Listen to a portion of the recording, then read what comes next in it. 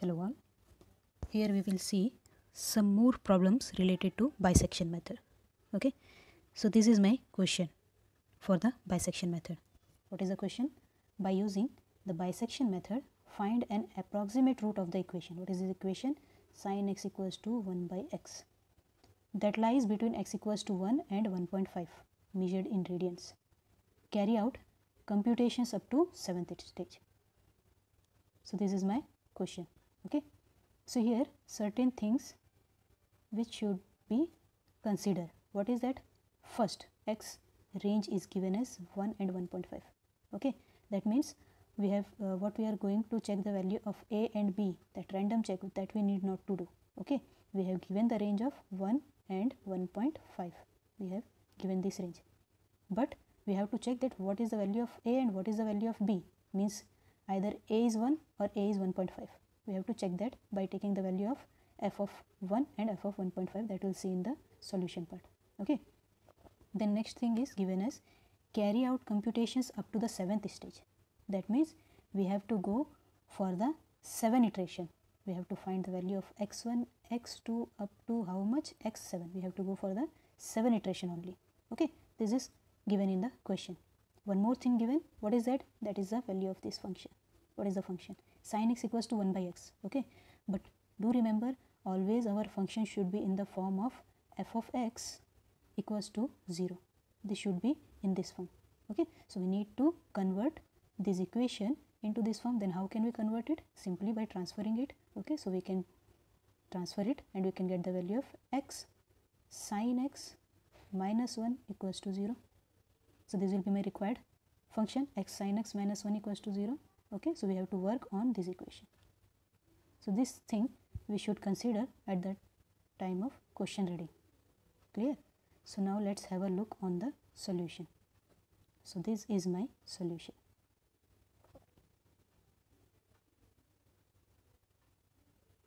Yes. So what is the solution?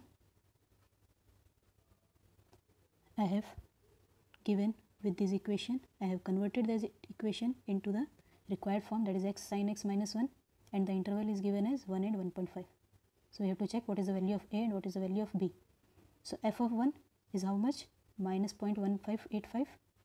What is f of b? That is plus 0.49624. Okay. So, we got this alternate solution and that was given in the question only. Right. So, we have got this 2 value. So, negative value can be represented as a and positive value can be represented as b. So, we got the value of A as 1 and B as 1.5. So, what is my first iteration that is x1? x1 is A plus B by 2. So, I kept the value of A as 1, B as 1.5 and I got the value of x1 as 1.25. Okay. So, this is the value of x1. Now, what is the next procedure? We have to check the f of x1. What is f of x1? Simply keeping the value of 1.25 in place of x in the equation we got this value. And you can see this is the positive value. That means this should be replaced by b. So now what is our a is 1 now this is not of our use. And what is b? B is 1.25 okay. So we can check here. In the next iteration we have taken the same a and b. That is 1 and 1.25 so what is x2 x2 is 1 plus 1.25 by 2 and it came as 1.125 right? So what we are going to do in the next solution? F of x2 f of 1.125 and we got the value as 0 0.011505